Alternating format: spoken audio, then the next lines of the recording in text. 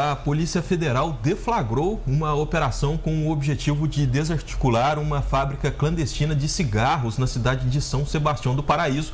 João Vitor Emanuel chega com os detalhes. A Polícia Federal deflagrou a Operação Uncover com o objetivo de reprimir a prática dos crimes de trabalho análogo à escravidão, contrabando e crime contra as relações de consumo.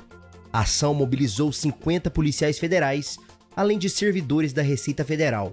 No total, foram cumpridos seis mandados de busca e apreensão e dois mandados de prisão preventiva em Minas Gerais e no Paraná, além da apreensão de bens no valor de 68 milhões de reais. Segundo as investigações, o grupo criminoso contratava cidadãos paraguaios para trabalhar em uma fábrica clandestina de cigarros em São Sebastião do Paraíso, no sul de Minas. Durante todo o período de produção, os trabalhadores permaneciam restritos às dependências da fábrica e sem comunicação com o exterior além de dormir em alojamentos precários. Eram produzidos cerca de 250 mil maços de cigarros por dia.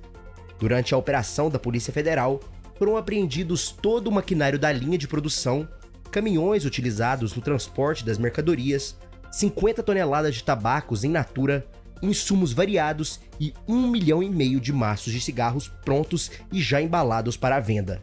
As embalagens encontradas no galpão da fábrica ostentavam logotipos falsificados de marcas tradicionalmente vendidas no Paraguai e cuja importação é proibida por lei.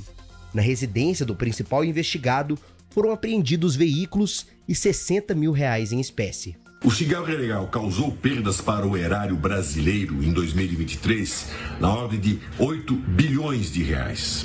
Aí temos computados os, o movimento dos cigarros contrabandeados, especialmente vindos do Paraguai, mas também das fábricas chamadas clandestinas, os devedores contumazes, estruturas criadas dentro do Brasil, fabricando cigarros sem pagar impostos. Então, além do contrabando, nós temos também as fábricas dentro do Brasil, uh, produzindo cigarros muitas vezes falsificados, com marcas paraguaias, que são as mais vendidas no Brasil mas que também não pagam nada de imposto. Devedor contumaz dolosamente não pagam impostos.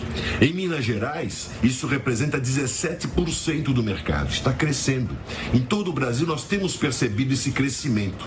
Essa última operação realizada agora, é, desbaratando uma fábrica clandestina em Minas Gerais, com ramificações em outros estados, demonstra isso, atesta isso. Nos últimos anos, tivemos mais de 52 fábricas devedoras contumazes, fábricas fábricas de cigarros que não pagam impostos, prejudicando o erário, o consumidor e o mercado legal brasileiro.